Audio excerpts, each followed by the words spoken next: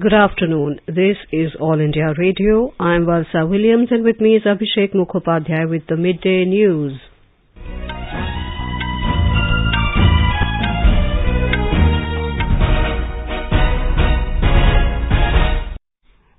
The headlines. Country achieves another milestone of administering 150 crore COVID-19 vaccine doses. Prime Minister Narendra Modi hails the achievement. Prime Minister inaugurates second campus of Chittaranjan National Cancer Institute in Kolkata virtually. Supreme Court directs the Registrar General of Punjab and Haryana High Court to secure and preserve the travel records of Prime Minister's recent visit to Punjab. Three-member MHA committee visits Firozpur to take stock of the situation relating to recent security lapse during Prime Minister's visit. Supreme Court clears decks for postgraduate medical counselling and admissions including other backward classes and economically weaker sections reservations for the current academic year 2021-22. Centre announces a third National Water Awards 2020. Uttar Pradesh awarded first prize, Rajasthan second and Tamil Nadu third. 3,007 cases of Omicron reported so far. Over 1,17,000 new COVID cases reported in the country in the last 24 hours. And in cricket, South Africa beat India by 7 wickets in second test to level 3 match series 1-1.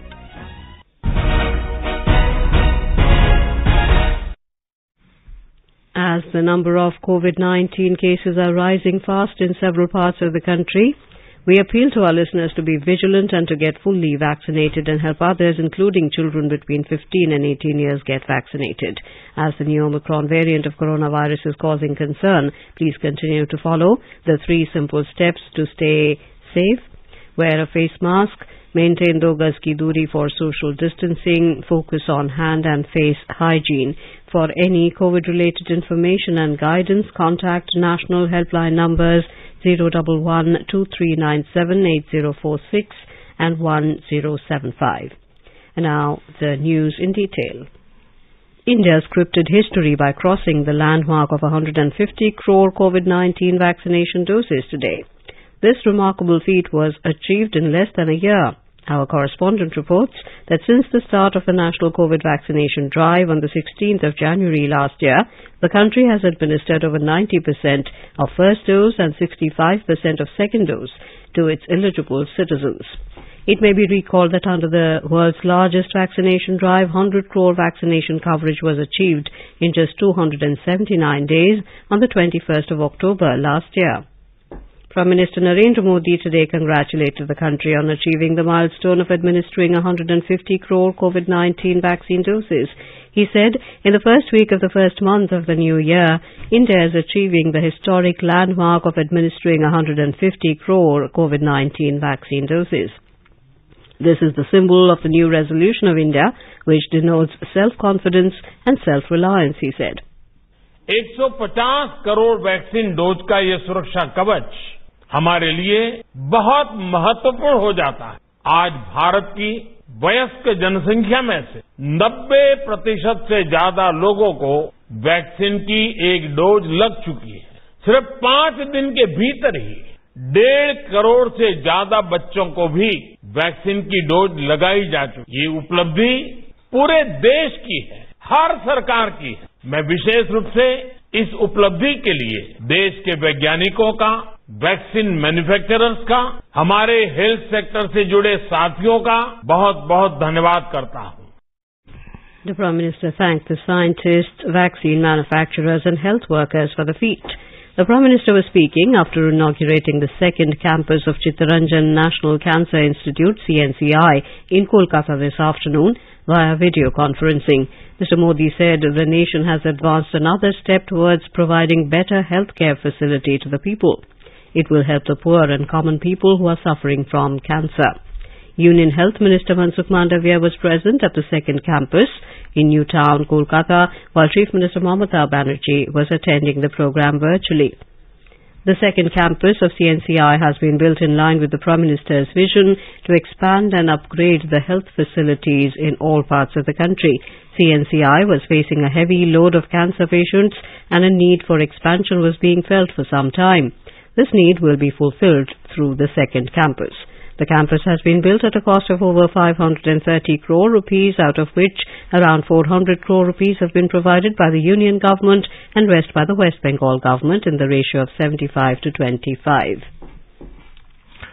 Union government has said that a total of 3,007 cases of Omicron variant of COVID-19 have been reported so far in the country. Out of these total cases, 1,199 patients have already recovered and migrated.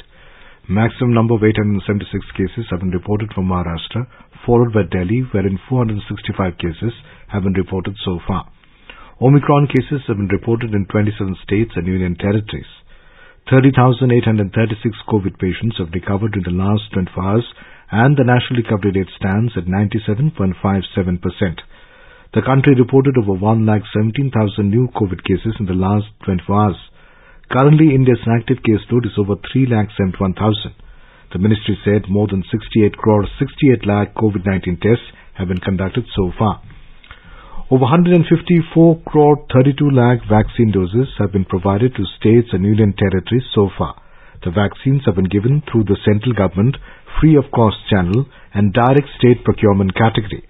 The health ministry said over 18 crore 14 lakh balance and unutilized COVID vaccine doses are still available with the states and UTs. Speaking to All India Radio about the country's achievement of crossing 150 crore vaccination, Dr. N. K. Arora, chairman of COVID Working Group, said, Today is a great day and another great milestone. We complete administration of 150 crore doses of COVID vaccine to Indians. All the vaccine doses are manufactured in India. This is a matter of great pride. Equally encouraging and heartening news is that during last four days, children between the age of 15 and 18 are coming with great enthusiasm and encouragement to get their vaccine and we hope that the first dose to all our adolescent children should be completed by the end of this month. I will appeal to all the adults who are still left out and have not received any dose of COVID vaccine and another about 20 crore adults who have received only single dose to come forward and quickly get their second dose as well. Union Home Secretary Ajay Kumar Bhalla has reiterated the need to have a unified strategy in the Delhi NCR region to tackle the COVID-19 pandemic. In view of the recent surge in the number of COVID-19 cases, especially of Omicron variant in Delhi NCR, Home Secretary yesterday chaired a meeting to review the COVID-19 situation and preparedness in Delhi NCR, which includes Delhi and nine bordering districts in the states of Uttar Pradesh and Haryana. During this meeting, he conveyed that the Omicron variant being highly transmissible, no stone is to be left unturned to deal with any surge in cases. Mr. Bhalla also stressed that the health infrastructure in all the districts of Delhi NCR should be immediately strengthened to deal with any enhanced requirement. He asked to ensure that oxygen supply equipment is fully functional and buffer stocks of essential drugs are maintained. The meeting was attended by Dr. V.K. Paul, Member Health, Niti Aayog, other senior officers of the central government and chief secretaries of Uttar Pradesh, Haryana and Delhi. Assam Chief Minister Himanta Biswa Sarma met top officials of the state in Guwahati last night to discuss the rising cases of COVID-19. Assam has registered 844 new COVID-19 cases during the last 24 hours. The state's COVID-19 positivity rate stood at 2.37% yesterday. In Odisha, government offices have started functioning with 50% staff strength from today. Along with this, night curfew from 9 pm to 5 am also commences from today in view of the rapid rise in COVID positive cases in the state. Odisha reported as many as 2,703 fresh cases on a single day yesterday. I report. There has been an exponential increase in the number of COVID positive cases in the state that jumped from 428 on the 2nd of this month to a high of 2,703 yesterday. The number of active cases too have spiked from 5,739 day before yesterday to 8,237 as of now. Accordingly, the state government has imposed many restrictions on public gathering with effect from today to contain the virus. While the Bhubaneswar Municipal Corporation has declared quite a number of areas in capital Bhubaneswar as containment zones, it has also decided to subject all passengers deboarding at Bhubaneswar Airport to mandatory RT-PCR test. Girish Chandradas, AIR News, Bhubaneswar. The number of new COVID cases in West Bengal has crossed 15,000 in the past 24 hours with 19 fresh fatalities. Out of 62,413 samples tested yesterday, 15,421 were tested positive as the positivity rate climbed to 24.71%. 6,569 cases were reported in Kolkata alone, which is highest in the state. 48 micro-containment zones have already been set up in the Kolkata Municipal Corporation area. Meanwhile, BJP has demanded to postpone the municipal elections for at least one month in wake of the COVID situation. State BJP leader Shamik Bhattacharya today said, COVID situation in the state is alarming and the state government needs to take a decision regarding the polls. In Punjab, 2,427 new COVID positive cases were reported yesterday. A maximum 687 cases were reported from Patiala district followed by 364 cases from SAS Nagar district. Vaccination drive has also been intensified in the state and yesterday over 1,48,000 persons were inoculated. Due to exponential rise in COVID-19 cases, the Karnataka state government will impose weekend curfew across the state from today. Restrictions are introduced from 10 p.m. tonight to 5 a.m. on Monday. The weekend curfew will be in place for two weeks. There will be no restrictions on essential services and food deliveries. However, theatres, hotels, bars, restaurants, pubs and clubs, swimming pool and gym can operate by allowing only 50% of their capacity. In Bengaluru alone, the physical classes till 9th standard are closed. More from our Bengaluru correspondent.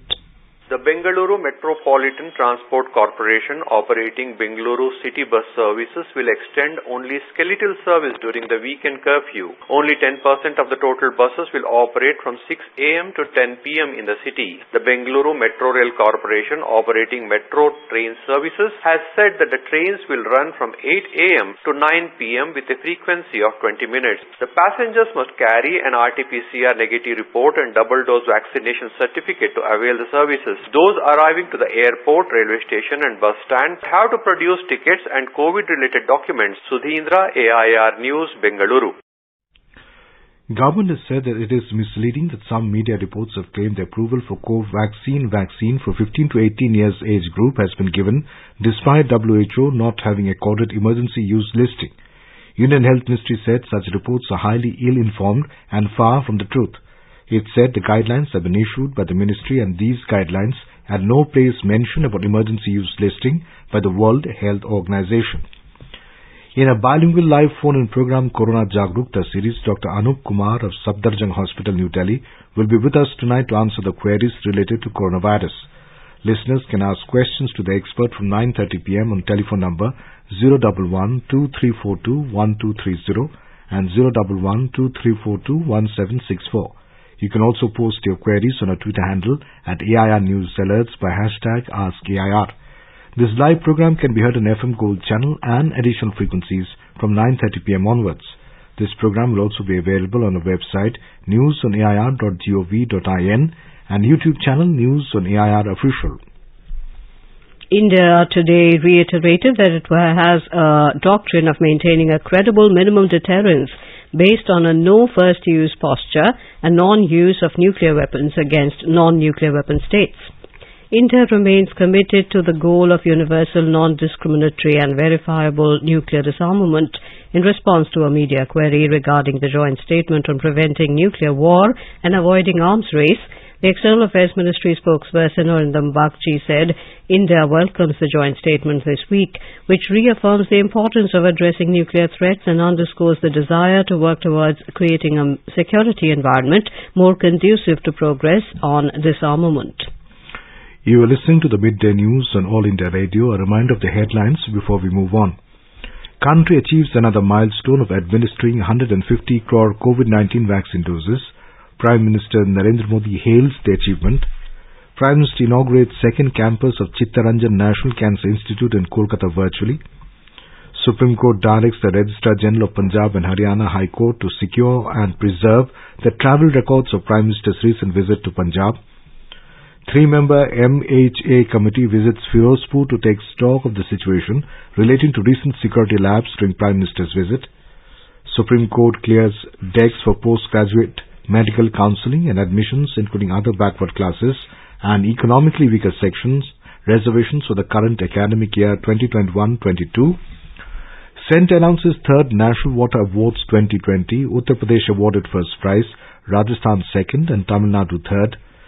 3,007 cases of Omicron reported so far. Over 1,17,000 new COVID cases reported in the country in the last 24 hours.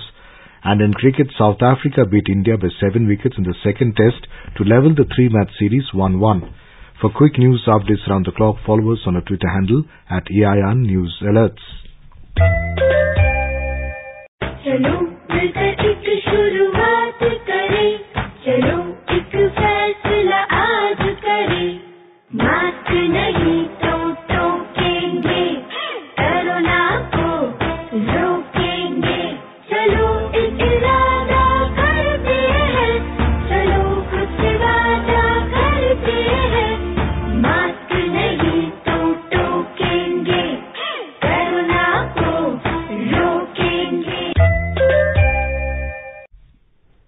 Welcome back to the midday news. The committee constituted by Ministry of Home Affairs to probe the lapses during the visit of Prime Minister Narendra Modi has summoned Punjab DGP Siddharth Chattopadhyay and 13 officers for questioning. Earlier the team reached Firozpur today and visited the flyover where the PM was stopped and took stock of the situation. The Supreme Court has directed the Registrar General of Punjab and Haryana High Court to secure and preserve the travel records of Prime Minister Narendra Modi during his visit to Punjab forthwith. The court has also directed Punjab police authorities, SPG and other central and state agencies to cooperate and provide necessary assistance to seal the entire record. The Supreme Court was hearing today a petition seeking a thorough probe into the security lapse during Prime Minister Narendra Modi's visit to Punjab on Wednesday. Union Education Minister Dharmendra Pradhan has appreciated Odisha Chief Minister Naveen Patnaik for his concern about the security of the Prime Minister. The minister said political parties in power can have differing ideologies, beliefs and opinions, but that can be no ground to legitimize any breach in security for the Prime Minister. Earlier in a tweet yesterday, Odisha Chief Minister Mr. Patnaik, describing the Prime Minister of India as an institution, said it is the duty of every government to provide foolproof security and safeguard the dignity of this institution. Anything contrary should be unacceptable in our democracy, he added. Uttar Pradesh has been awarded the first prize in the state category of third National Water Awards 2020. This follows Rajasthan occupying the second place, while Tamil Nadu secured third place. Jal Shakti Minister Gajendra Singh Shekhawat to declare, declared the winners of the National Water Awards. The 57 awards were announced in 11 categories, including Best States, District, Panchayat and Best Industries. National Water Awards were instituted to recognize and encourage exemplary work and efforts made by states, districts, individuals and organizations across the country in attaining the government's vision of a Jal Samriddh Bharat. The Supreme Court today cleared the decks for postgraduate medical counseling and admissions, including the other backward classes and economically weaker sections, reservations for the current academic year 2021-22. A bench headed by Justice D.Y. Chandrachud and A.S. Bopanna upheld the constitutional validity of 27% reservation for OBC and 10% EWS for the NEET UG and NEET PG. However, the top court added that it would decide on the rationale of criteria of rupees 8 lakh income for EWS category in March this year. Addressing the 75th Establishment Day of Bureau of Indian Standards BIS yesterday, Minister of Consumer Affairs, Food and Public Distribution Piyush Goyal said that quality is not expensive, it is cost effective. He highlighted that for BIS to grow, it should work as a facilitator, not an obstructor. He said that BIS should develop as a global organization, learn from global experiences, and integrate global standards. Mr. Goyal said that nothing short of a quality or standard revolution is required. He said one nation, one standard will become a game changer in this regard. Department for Promotion of Industry and Internal Trade, Ministry of Commerce and Industry is organizing Startup India Innovation Week from the 10th to the 16th of this month. In the context of Azadi Ka Amrit Mahotsav, this virtual innovation celebration is designed to showcase the spread and depth of entrepreneurship across India. And now let's listen to a special program, Azadi Ka Safar, highlighting the importance of the day during the freedom struggle. आजादी का Amrit Mahotsav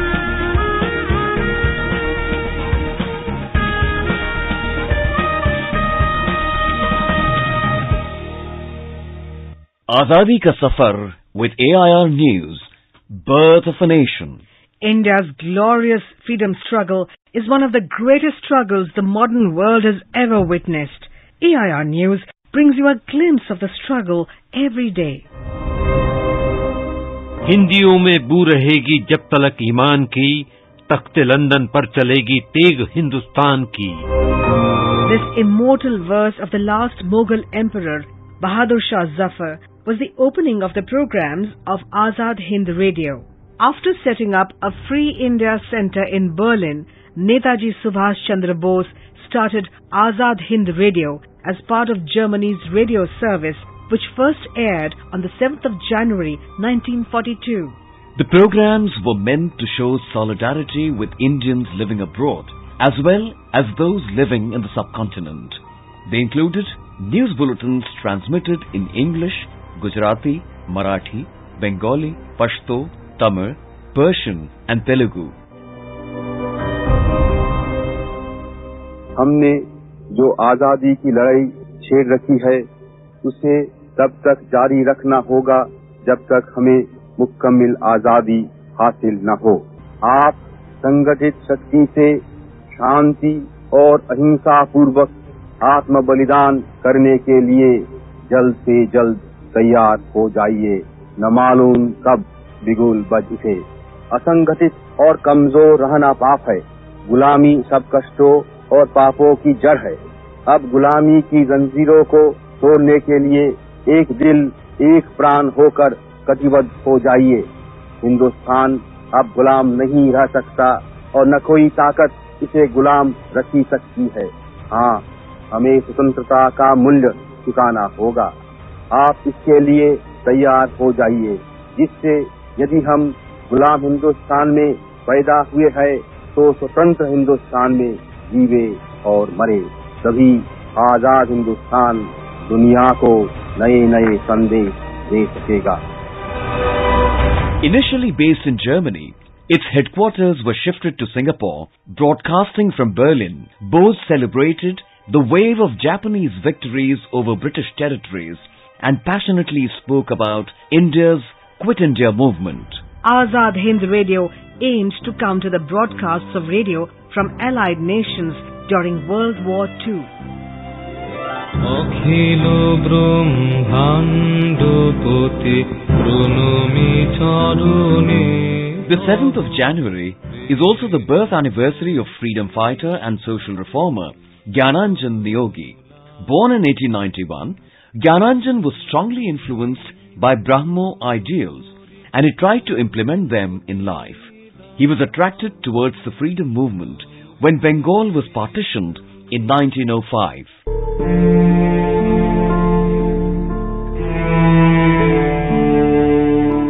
In 1909, Gyananjan Niyogi formed the Calcutta Working Men's Institution. Apart from its educational and training activities, it organized medical assistance and carried out development work for the benefit of the poor residents living in slums.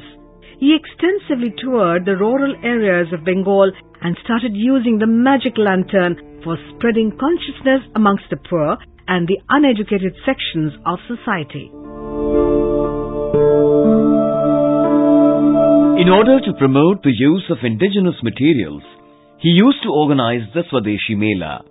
When Netaji Subhash Chandra Bose was the mayor of Calcutta, from 1930 to 31. He requested Niyogi to organize Swadeshi campaign.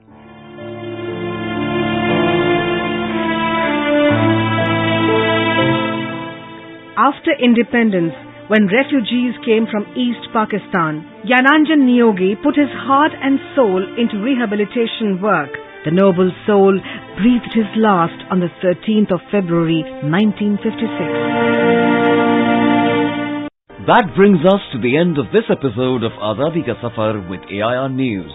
See you in the next episode tomorrow.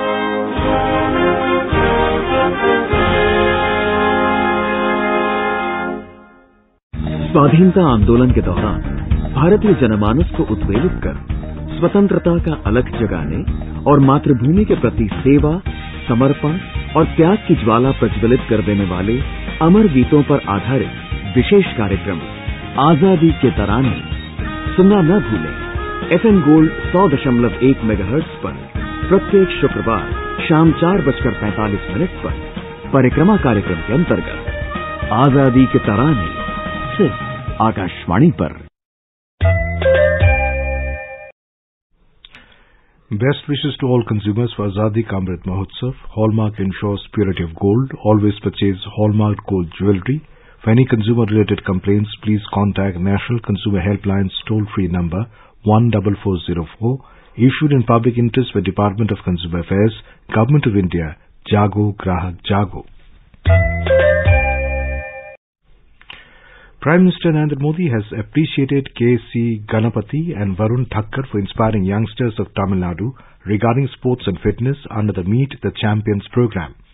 In a reply to a tweet by PIB Tamil Nadu, the Prime Minister said, remarkable gesture by K.C. Ganapati and Varun Thakkar to inspire the talented youngsters of Tamil Nadu. Union Information and Broadcasting Minister Anurag Singh Thakur today said the BJP government has made Uttar Pradesh free of Gunda Raj and law and order has improved a lot. He added that this is why investment is coming to the state and that is why Uttar Pradesh again wants the Yogi government.